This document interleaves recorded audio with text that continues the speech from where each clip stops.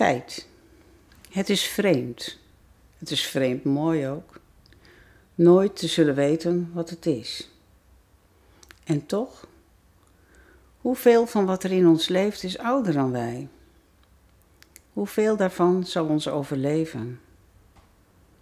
Zoals een pasgeboren kind kijkt, alsof het kijkt naar iets in zichzelf, iets ziet daar wat het meekreeg. Zoals Rembrandt kijkt op de laatste portretten van zichzelf, alsof hij ziet waar hij heen gaat, een verte voorbij onze ogen.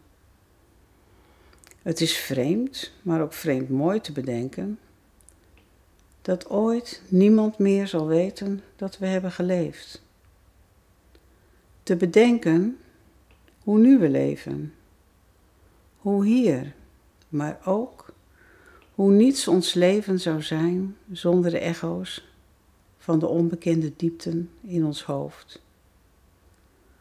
Niet de tijd gaat voorbij, maar jij en ik, buiten onze gedachten is geen tijd.